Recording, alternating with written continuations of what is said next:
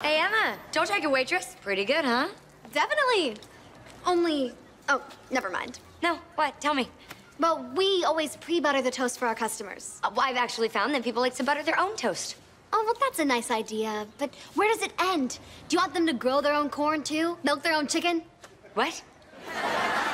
Listen, I know what I'm doing. I've been waitressing a long time, and you just discovered that toast isn't made by fire elves. I failed to recall ordering the side of awkwardness.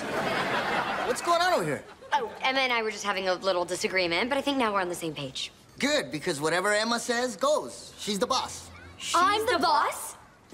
Claro, she has seniority. But I have tons of waitressing experience, and Emma thinks seniority is a sorority you get to join your last year of high school. I'd let you settle this in the ring, but bloody noses are bad for business. Emma, you're in charge. I can't believe I get to be the boss.